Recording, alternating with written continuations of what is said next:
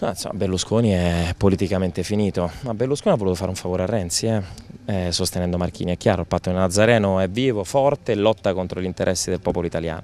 Renzi è sostenuto da Berlusconi e in cambio gli, gli fa favori. Magari vi no... stanno mandando allo sbaraglio questo...